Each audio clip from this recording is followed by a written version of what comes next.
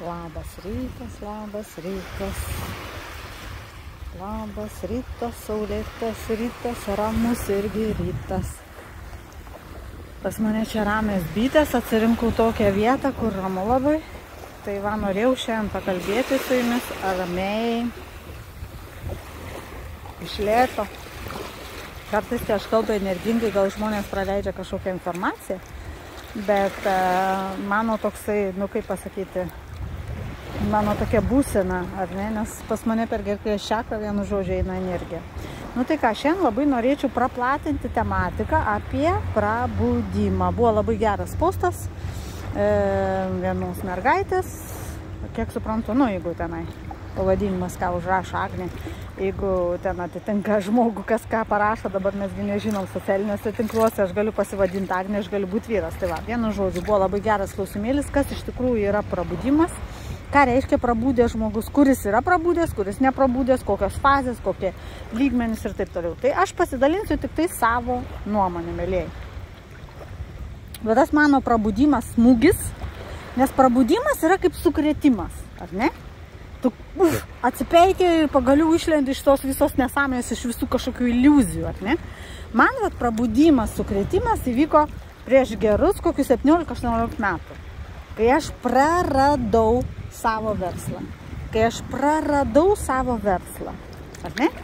Tai va, ne tai, kad aš praradau verslą ir pradėjau verkti, nes man kažkas atėmė žaisliuką. Ne. Aš praradau verslą, tai reiškia, kad santaupos visos šeimos, daug metų daryti dalykai sukaupti. Suprantat? Daug metų investicijos tiesiog gyvenimo būdas ir taip toliau, kur mes įdėjom ten pastangas, kur dirbom tenai po, po 16 valandų ir vienu metu atima. Suprantat, iš jūsų vat, atima tą vat, kaip pagrindą, vat, nu, vat, nutraukia tą staltėse nuo stalo ir viskas, stalas plikas, ar ne? Ir, ir paskui dar, dar baisiau pasidaro, kai sužinai, kad tau buvo padaryta magija. Nes tavo sveikata pradeda birėti vienu metu, bloga pasidaro. Nesuprantu. Nes mes normaliai visi bandom neigti, kad yra magija. Mes visi ir dar šiandien, iki pat šiandienos, kai aš pasakoju apie magiją, kai aš pasakoju apie burtus ir viską, kai mes nagrinėjom su mergaitėm, dėl ko aš įsigilinu paskui į tas energijas magijos. Nes būtent visas mūsų gyvenimas per amžių amžius yra pastatytas ant magijos energetikos. Suprantat? Va čia labai įdomu. Čia vienas punktas yra labai svarbus. Kai tu supranti, kad ta manipulacija buvo padaryta magijos būdu, užmanipuliavo tave. Ne tave, tautas užmanipuliavo, žmonija užmanipuliavo. Ir tada einam dar giliau, kad religija irgi yra magija, visos valdymo funkcijos yra magija ir taip toliau ir taip toliau. Tai yra energija. Suprantat? Ir kodėl jie tenai slėpė, kodėl jie tenai paskui darė, tai va aš pradėjau visą šitą analizuoti dalyką, nors atrodo viduje, kad kažkokias nesąmonės, kad čia tos raganos buvo deginamas, ai čia legendos, ne, buvo deginamas raganos prie sulpų ir taip toliau. Bet kai pradėjom nardyti po telepatį ir pamatėm iš tikrųjų vaizdus, kad iš tikrųjų buvo deginamas, kad iš tikrųjų buvo daroma su žolinkėm ir taip toliau, tada viskas atsiskleidžia visa ta informacija. Tai va, čia tik toks, tokia įžanga, bet vad ką reiškia prabūdė žmogus, kai gauna sukretimą. Aš gavau tą sukretimą ir aš pradėjau ieškoti atsakymų. Nes kol aš dirbu, kol aš dariau, kol aš buvau įsisukusi į socialinį tą savo gyvenimą, tą darbą savo e, daryti, dirbti, ten mokesčius mokėti ir taip toliau, man nebuvo laiko net iš viso galvoti, kas yra energijos, kas yra tenai kas čia dabar mums tos burtus padarė, kodėl mes taip turim gyventi, kas mums nustatė tos visus, suprantat, įsakymus, išleido įstatymus, išleido, kodėl mes taip turim elgtis, kaip kokie robotukai. Čia tokių klausimų net ne, neturi, suprantat. Bet viduj kažką jauti. Viduj jauti, nes aš, pavyzdžiui, už karto nenorėjau savo vaiko, kuris gimė, pa, pakrikštyti. Vat vis tiek kažkoks Nesvarbu, kad aš nesidomėjau kažkokio magiam ir taip toliau, bet kai man gimė vaikas, aš iš karto supratau, kad aš jo nenoriu krikštyti, nes man čia jau pradėjo kelti atstumimą, ar ne? Tai va. Tai va, ką reiškia tas prabūdė žmogus dabar?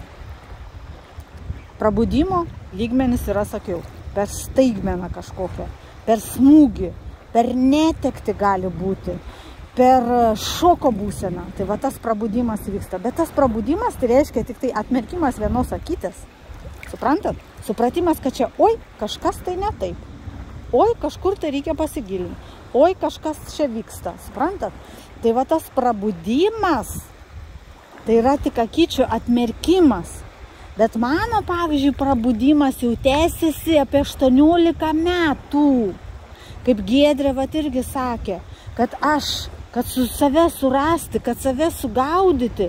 Dešimt metų save studijuoju, tu jūs nenorėkit, kad jūs prabūdo dabar, supratot, kad marmaliošė, supratot, kad čia nori panaikinti tą žmoniją, kad nori padaryti tą e, auksinį milijardą, supratot, kad e, marmalai tai čia buvo kažkokie tai eksperimentai ir taip toliau. Tai nereiškia, kad iš jų jų prabūdot ir viską žinot, nemėlėjai. Kai vad žmogus gauna tą sukretimą, įvyksta tas prabudimas, ar ne? Tas toksai, aš gal netgi sakau, man tas žodis prabudimas, prabudimas, įvyksta tokia atmintis ateina. Prisiminimas ateina. Prisiminimas, kas aš toks esu po paraliais. Iš tikrųjų, kas aš toks esu, sustojam. Prabudimo metu sustojam Ir įvyksta toks dalykas, kad nustojam daryti tuos dalykus, ką darėm viską anksčiau.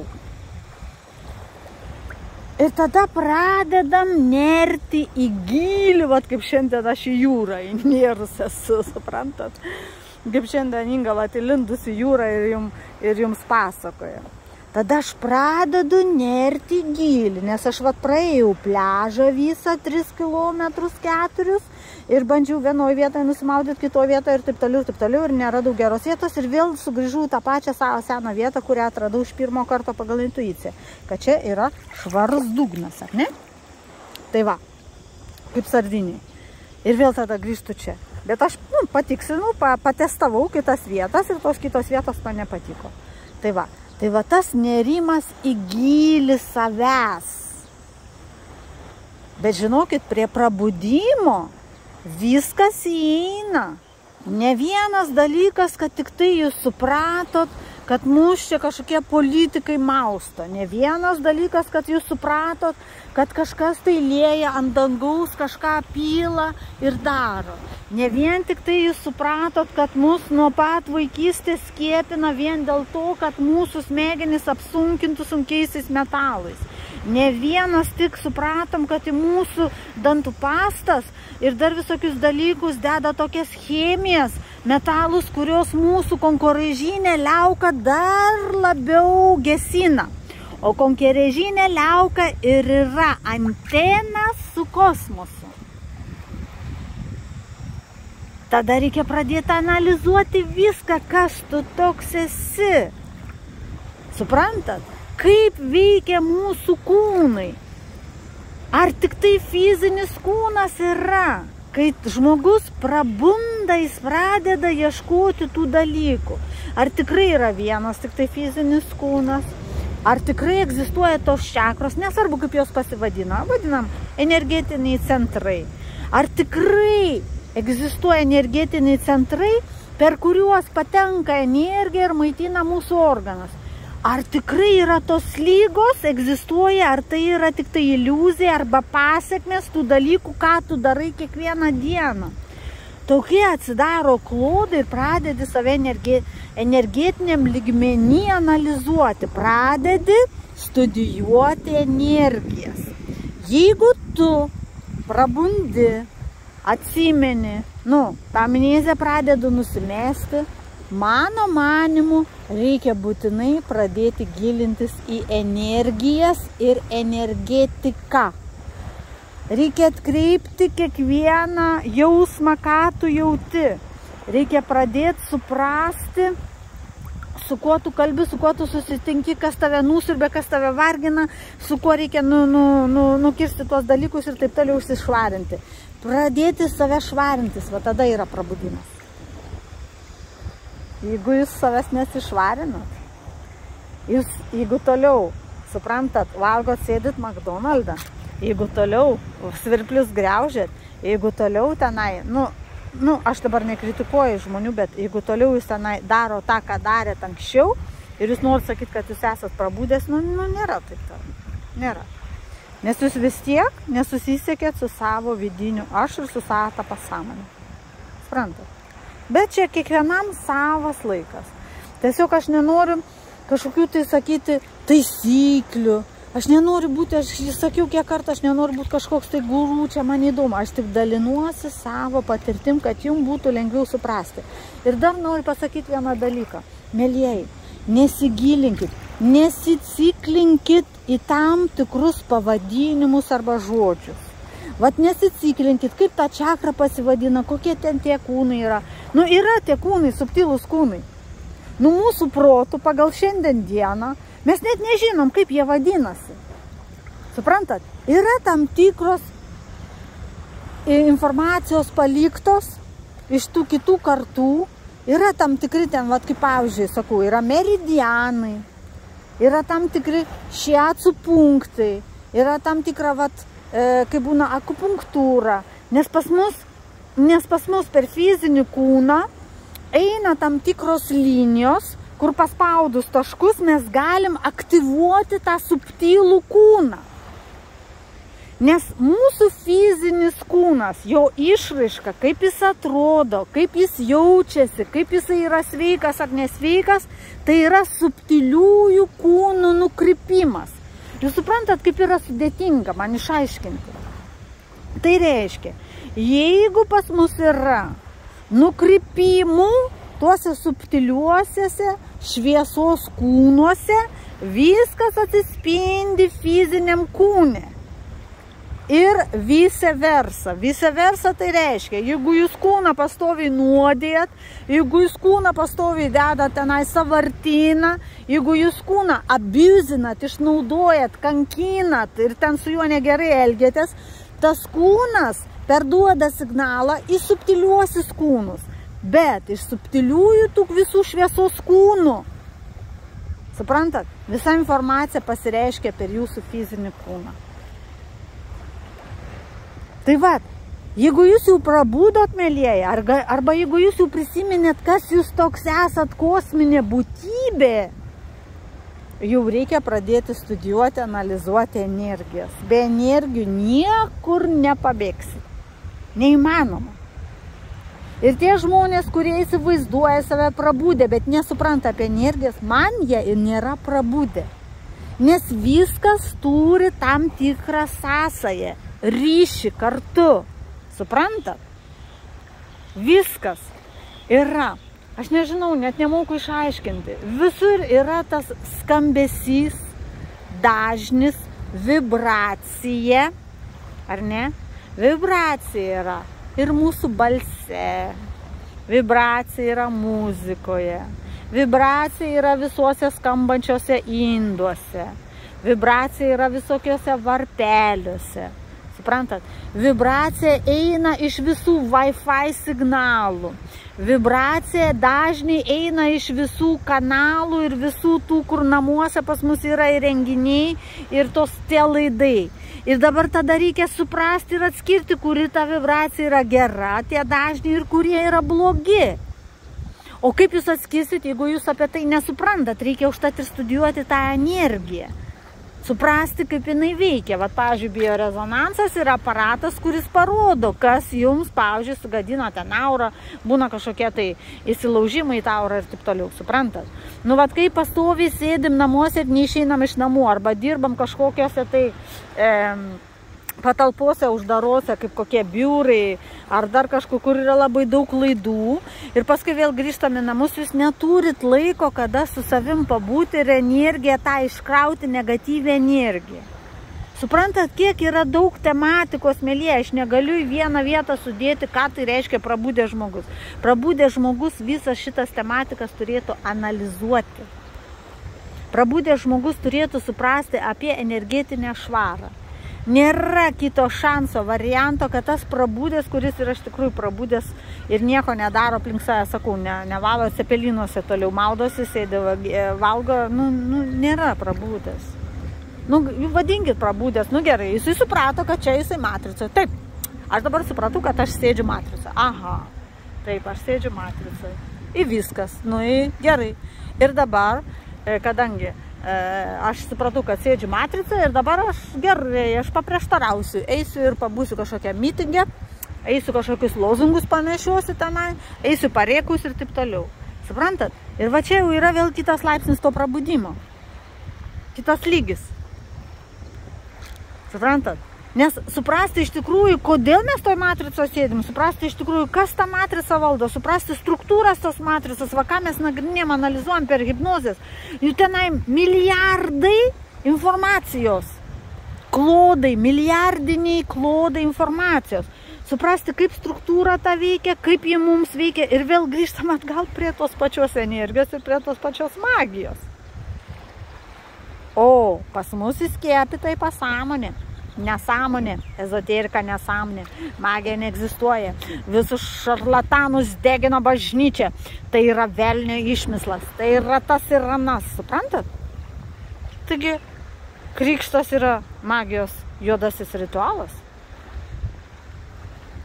Kai žmogus numiršta ir nunešam į tą bažnyčią, jį iš viso įkalina, kad jis negalėtų pakilti jokius portalus. Taigi yra magijos ritualai tam, kad toliau liktų ta batareika ir po mirties iš jos būtų galima siurbti energiją.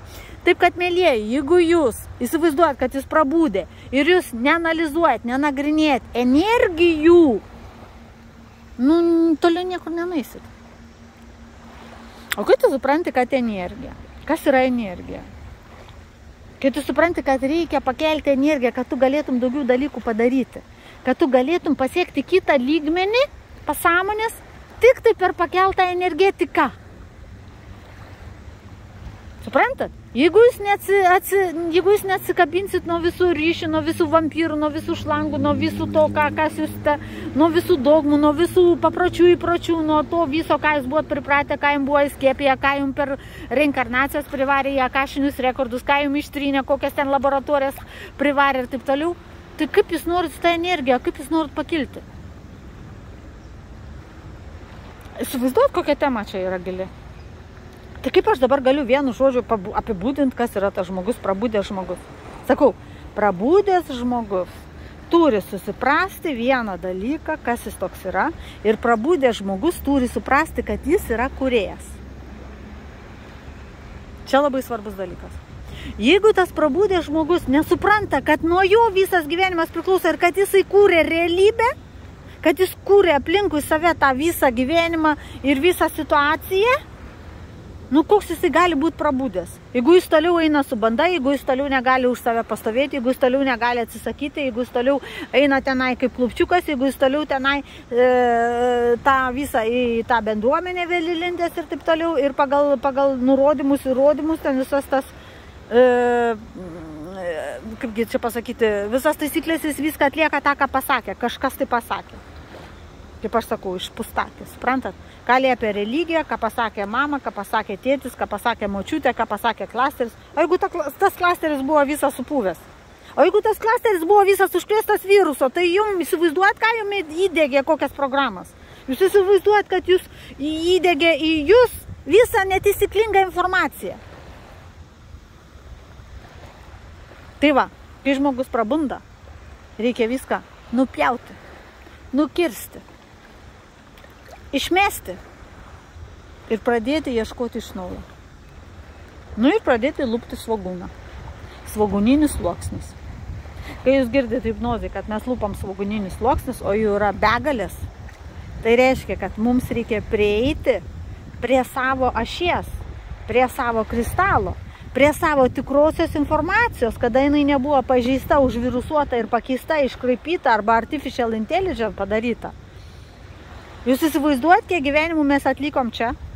Ir kiek mums buvo įdėkta visokios informacijos. Ir įsivaizduojat, kad kiekvienam gyvenime, kai jau mūsų ta e, energetika, tos energijos jau buvo nukrytusios, mes jau nebegebam išsivalyti savo archyvų. Tai vadinasi, kiekvieną naują gyvenimą ateinam su supūvusią kuprinę su pridergta kuprinė.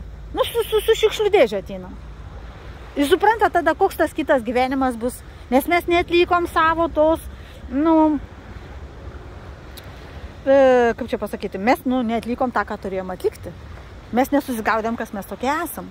Mes vėl įpuolėm į tą matricą, mes vėl įpuolėm į tą klasterį, mus taip užaugino, mus taip išmokė ir mes darėm tą, ką išmokė. Ką pasakė tas, ką pasakė anas. Ir neieškom savo klausimų. Nugyvenam tą gyvenimėlį, atėjo ten 70-80 metų ir aleliuja, viskas, išvažiavam vėl. Sprantat? Tai, tai pasakyti, kas yra prabūdęs žmogus, yra labai sudėtinga. Tokių prabūdusių yra maža, nes jeigu būtų visi prabūdę, tai mes iš to į dervoj nesėdėtumėm tie prabūdę galėtų va, išvalyti visą šitą smalą nuo burtų padarytą. Ir visa visuotinė pasąmonė būtų senai pakilusi į viršų, bet taip nėra vadinasi, nėra prabūdusių žmonių. O čia, kad mes praplėšę tik tą akitės, trinamės. Aš 17 metų trinu tos akitės, o Gedrė sako, va 10 metų aš save analizuoju trinu akitės. Kitas gal ten trina 5, 5 metus akitės, čia yra niekas. Suprantat, kad čia yra niekas. Tai va, turim aišku tos pajautimus, turim savo tą supratimą, reikia klausyti to širdies, bet per kiek laiko mes tą visą išmoksim. Ir sakau, nesiciklinkite informaciją iš kitų žmonių, nesiciklinkite visokias pranašystės nesąmonės, nesiciklinkite visus gurų. Aš suprantu, kad tai yra sudėtinga. Ir neklauskit, aha, tai koks buvo to Dievo vardas, to kūrėjo vardas, ar tenai Prometėjus jisai tenai buvo, ar ten Dzeusas jisai buvo, ar jisai ten buvo koksai Herkulėsas. Koks skirtumas, taip mums parašė. Bet tai neaišku, ar tai buvo, ar tai buvo jų fantazija. Tai nesicikliname jų, bet įsivaizduojam tokią figūrą, kad toksai buvo kūrėjas. Suprantat? Nepergyvenkit, kad netitenka mūsų ten tas žodis ar jo pavadinimas to kūrėjo. Vardas. Vardas nieko nereiškia. Suprantat? Nieko nereiškia vardas. Esybė. Charakteristika jo. Galimybės. Kaip kurėjo reiškia. O jūs fokusuojate į koks jo vardas ten buvo, kaip man į jį kreiptis. Nereikia niekur kreiptis į nieką. Pasikliaukit savimi, mėlyjei. Į save kreipkitės. Inga. Faina tau būti šiandien vandenį plaukėti? Faina. Nu ir plauk, viskas. Faina tau pabūti, pabendrauti šiandien. Nori su kuo nors pabendrauti, su kokiu žmogum, ar visiškai nenori? Nenori. Nu ir nebendrauk. Suprantat? Būkit savo cool, būkit savo fainus, būkit savo, e, nu, aš nemoku pasakyti, nespauskit savęs, nekritikuokit smarkiai, nebūskit savęs už, už klaidas. Šiandien, jeigu ryte atsikėlėt, Ir matot, a, čia taip viskas apsiniaukia, viskas negerai, vėl viskas aukos vedmo. Nu, dirbkit su savim. Vat kai pradedat su savim darbuotis, kai pradedat valytis kūną, pradedat būdintis. Nu, pradedat atgauti, nusimti tos sluoksnis vagoninis ir atgauti tą visą savo, savo informaciją, kuri buvo pakavota, paslėpta, ištrinta, specialiai, nespecialiai, dėl mūsų kaltės, ne dėl mūsų. Koks skirtumas, dėl ko jinai buvo ištrinta, bet mes žinom, kad jinai buvo ištrinta. Sakau, nes kitaip nesėdėtumėm šitoj va dervoj tokioj. Suprantat? Tai va. Taip, kad su vienu žodžiu tą prabudimą mes neišaiškinsim. Kas yra tas prabudimas? Vienu žodžiu nepaaiškinsim. Ir čia yra labai gili tematika. Nes kiekvienas išjaučiam kitaip. Vat supratimas energijų. Kas yra sirena, kas yra undinėlė, kas yra krištolinė, kas yra syris, kas yra drugelis. Ir kiekviena iš jų šitą būtybę, harmoniją, meilę ir balansą išjaus pagal jas visiškai skirtingai. Užtat sakau, nesėkit ten kažkokių tai gurų, nesifokusuokit ypatingai į visus elementus, ką jis pasakoja neįsiminkit, nes jums nereikia prikrauti, jūsų pasąmonė žino pati. Vat kai jūs klausot, pavyzdžiui, hipnozės, jūs nesistenkit su savo protu prisiminti kažkokius ten visokius, koks buvo pavadinimas, kaip tas atrodė, kas tas drakas, kas tas tas. Jums, nu, ne, savęs nespauskit, jūsų pasąmonė žino, apie ką buvo hipnozė kalbama. Jūsų pasąmonė jau žino.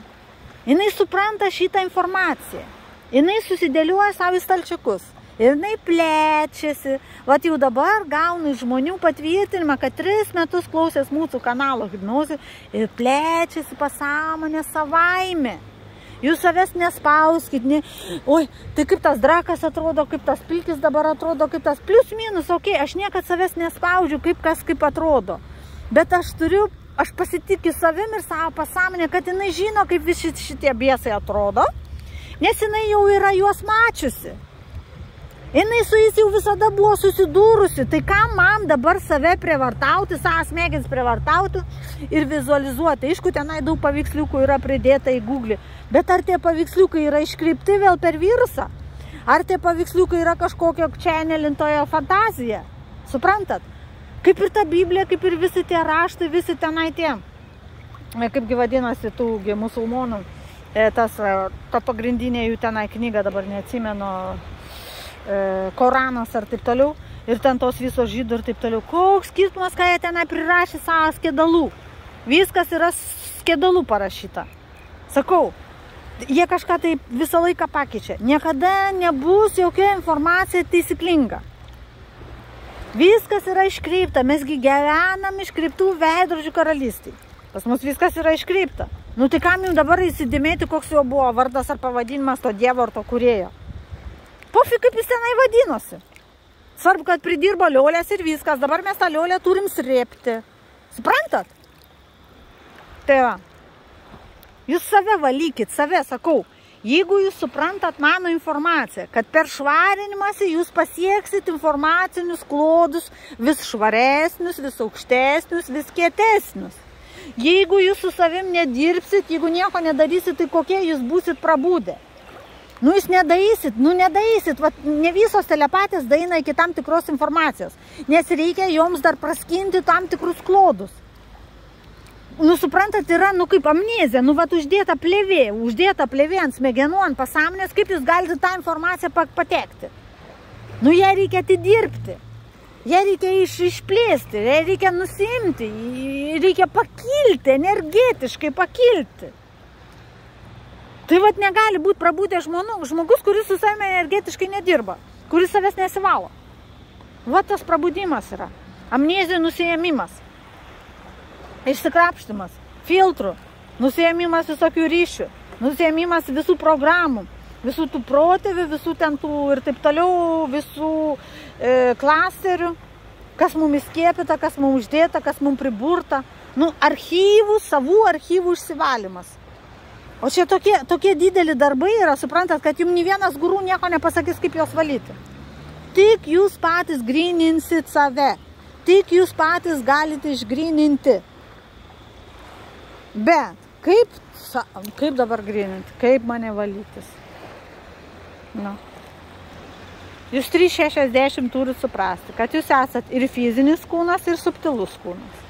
Tai reikia valyti ir fizinį kūną, ir subtilų kūną subtilų kūną, visus šviesos kūnus labai gerai informaciją valo.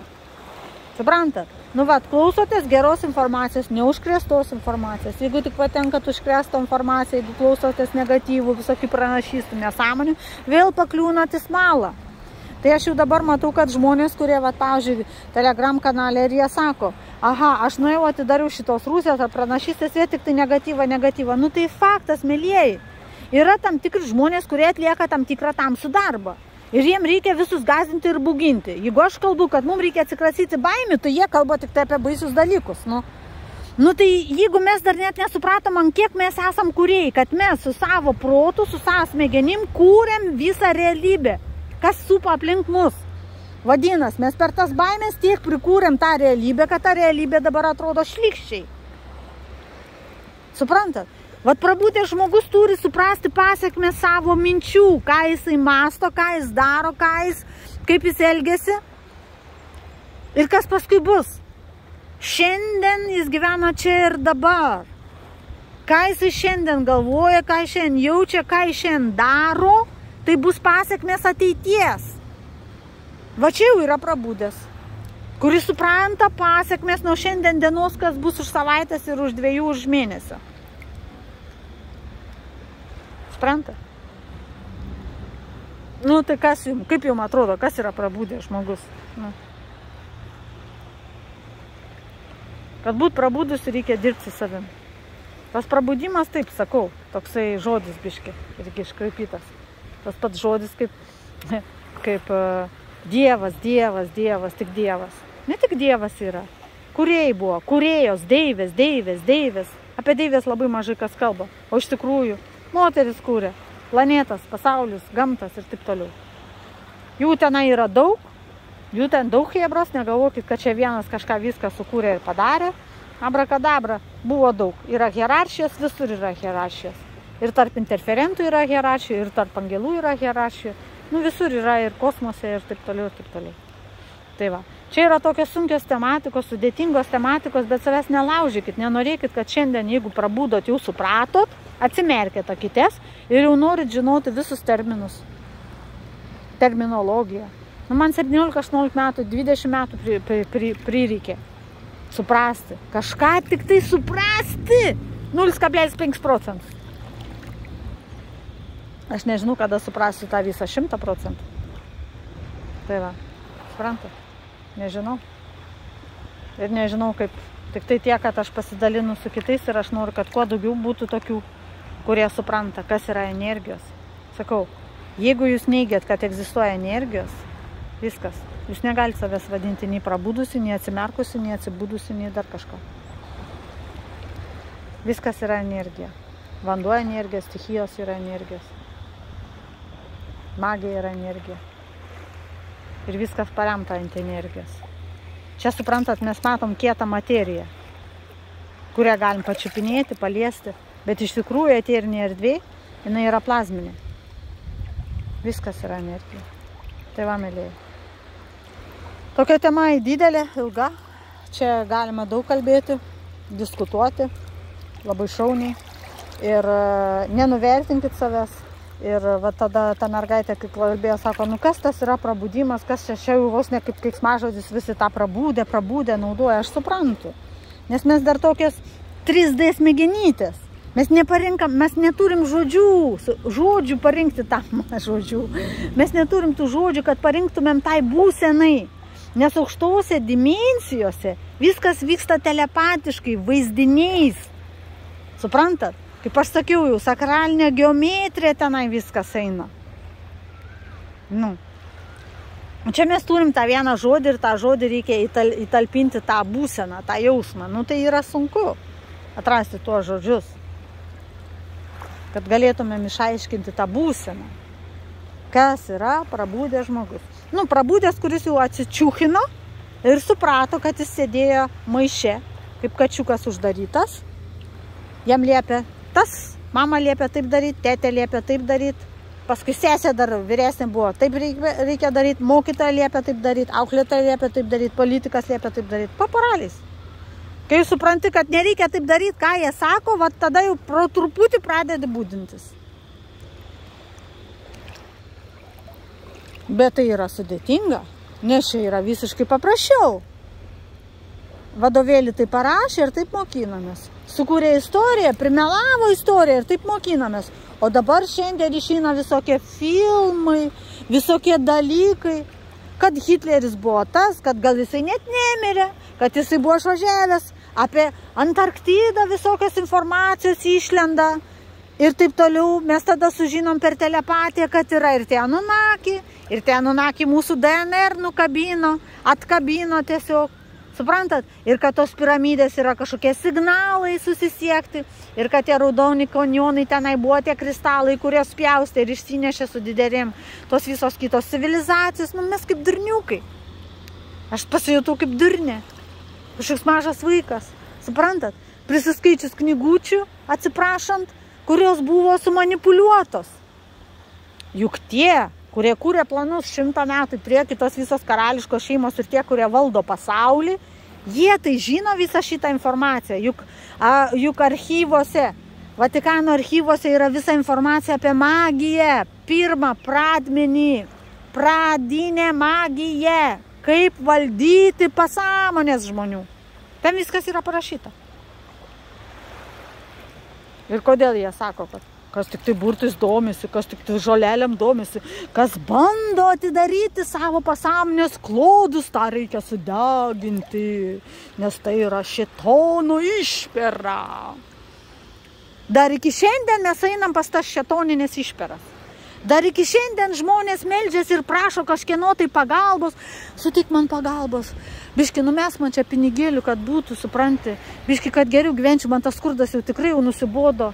Visiškai supranti. Aha. Atiduodam kažkam kitam nuspręsti už mus. Atiduodam kažkam kitam priimti atsakomybę, bet tik ne mums patiems. Nemėlėjai, taip neveikia. Jeigu jūs norit gyventi savo gyvenimą, jeigu jūs norit būti vat pensijoje ir vat kaip inga vaikšto po jūrą, tai jūs turit kurti savo realybę. O ne taip, kaip pasakė, kaip liepia, kaip tas, kaip anas. Suprantat? Tai va. Aš pensiją jau 20 metų. Tada, kaip atėmė verslą, tada supratau, tada mane sukrėtė ir tada sakau, net nebeturiu gyventi tiek. Suprantat? Nes aš pagalvoju, aha, aš turiu savo verslą. Aš moku mokesčius. Milijonus. Olandijai. Suprantat? 20 žmonių, 15 žmonių dirba. Už juos visus moku pensiją. Moku tiek daug mokesčių. Beveik 70 procentų, 69 procentus. Ar ne? Per daugelį metų susidarė milijonai. Ir dabar galvoju. Vadinasi, aš turiu dirbti arti 40 metų pagal šitą sistemą. Ar ne? Kad kai man bus 60-65, tada aš atsit pradėsiu šiek tiek gyventi, gal nuvažiuosiu prie jūros tos, ar ne? Ir jeigu mano sveikatėlė dar trūks nuo to viso streso, ką aš patyriau per 40 metų savo versle, e, po 16 valandų dirbdant e, 7 dienas į savaitę ir visas stresas ir taip toliau, bemiegės naktis ir užrištas skrandis negalėjimas valgyti maisto, ar ne, nuo streso, E, tai aš nežinau, ar aš ištrauksiu penkius metus. Tai vadinasi, aš dirbu 40 metų. Mokėjau milijonus mokesčių, kad penkis metelius atgyvenčiau kažkokia jau ap, sulūžus, biški pakriošus ir atvažiuosiu kažkokią ten ar Tailandiją, ar Sardinę, ar dar kažkokią Italiją, gal dar skristi ilgai negalėsiu skrydžio pa, pa, patverti. Nu, tada nusikapstysiu gal į kokios Kroacijos, Kroacijos ir tenai pasėdėsiu prie jūrytės ir įsivaizduoju, kokia fainai mano pensija, aš, aš užsitarnavau per tos 40 metų. Dabar galiu pagyventi. Jeigu dievulis man duos tas penkis metukus išgyventi. Ir aš tada supratau, susivokiau, oba, čia negerai, čia yra apgaulė. Ir tada dabar pakalbėsiu apie investicijas. Nes aš savo buhalteriui uždaviau tokį klausimą. Sakau, palauk, palauk, per 10 metų aukso kaina pakilo 600 procentų. Kodėl tu man nesakai investuoti, pavyzdžiui, ten, kur man įdėti pinigus, jeigu tie pinigai netenka vertės, o dėti kažkokį post bankalį, kur atsit mano vaikui, kuris gimė jau jam tenai, kai bus 20 metų, 18 metų, jis galės įsitraukti savo kažkokias ten tas palūkanas užaugusias ir taip toliau. Taigi sakau, čia yra melas faršas. Tada pradėjau analizuoti investicijas į tauriuosius metalus arba į paveikslus, ar ne, kaip mano vyras kaupė kolekciją. Nes aš supratau, kad čia yra mulkinimas, muilinimas su tais visais bankais ir padėjimais, kad e, tenai, kai dukra užauks, sunus užauks 18 metų ir jiem čia bus pri, priaugę tų popierinių kažkokių popiergalių. Nesąmonė didžiausia. Nusipirkai aukso gabaliuką ir po 10 metų tu vietoj to gabaliuko jau gali namą įsigyti. Nes jisai pakeitė visiškai vertę. Vat kaip viskas padaryta.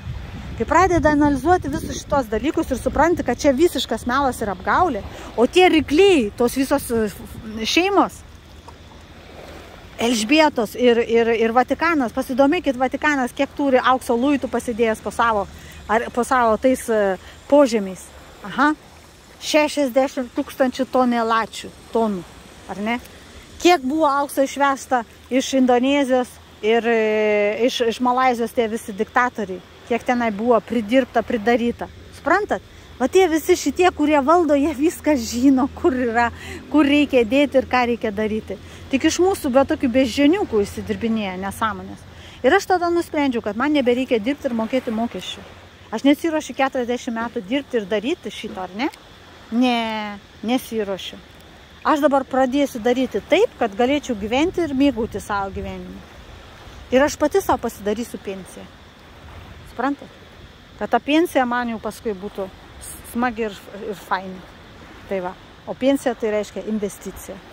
Tai va, mėlyjei, apie viską Inga šiandien kalba. Apie susivokimą, apie atsibūdimą, prasibūdimą, supratimą. Nes kai tu įsisuki į tą visą socialinį tokį gyvenimą, kai tu galvoji, kad tu tą verslą padarai, padarai ir čia tiek mokesčių primokėjai, o paskui, kai aš paklausiu Olandijos, nu, tavo stažas buvo neilgas, tai 15 metų, gausi tik tai 380 eurų, atsit už tą pensiją. Aha, matai, matai kaip čia dabar, ne? Po to, kai aš milijonus sumokėjau. Milijonus guldenais ir eurais. Tai va, mėlyje. Taip, kad va, tas prabudimas čia yra toksai žodelis nepaprastas. Čia apie jį reikia kalbėti ir kalbėti. Čia reikia dalintis ir suprasti. Ir pasitikėkit savo, savo nuojautą. Netiduokit kažkam kitam spręsti už jūs. Netiduokit to fokuso, kaip turi atrodyti jūsų gyvenimas. Suprantat? Nes labai daug žmonių pergyvena, o ką dabar kaimynai pagalvos, o ką dabar tas pagalvos, o ką dabar anas pagalvos. Nu tai yra ir žmonių, kurie mano kanalą mato ir pagalvoja, sako, tai gal jūs pensijoje esat. Nu, aš ne pensijoje. Nu. Aš norėčiau pensijoje būti visą gyvenimą. Jeigu jūs įsivaizduojat, kad tik tai pensininkas gali nuvažiuoti kažkur prie jūros ir pabūti. Ašgi gyvenu Sardinijoje, mėlyjei. Aš Sardinijoje kiekvieną dieną jūroje salina, mirkstam. Tai va. O dabar savais reikalais išvažiavus į Afriką ir ieškau dalykų, investicijų, padėti projektus didelius ir taip toliau. Tai va. Kita, įjungi kitą mąstymą, įjungi kitą, kitą mygtuką reikia pajungti. Ką galim padaryti šiandien? Ką galim šiandien padaryti?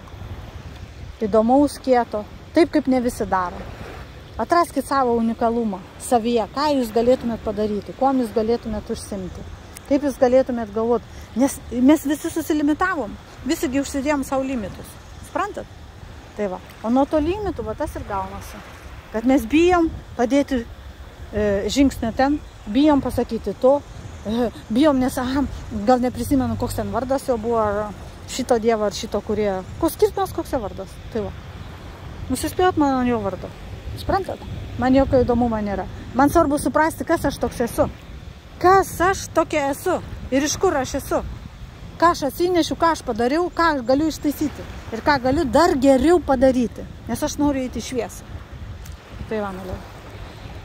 O šiandien apsiniaukė, bet gerai, nors skūra nedega. tai va, tokia šiandien, tokia įžangėlė dar su tuo prabudimu ir apie prabudimą ir iš viso apie gyvenimą. Kas tas gyvenimas? Tai va, būkit sveiki, būkit gražus, būkit energingi, Įminėkit, nusimkit savo svaguninius sluoksnius ir tik į priekį. Tik į priekį, mokinamės, darbuojamės ir mėgaujamės. Iki.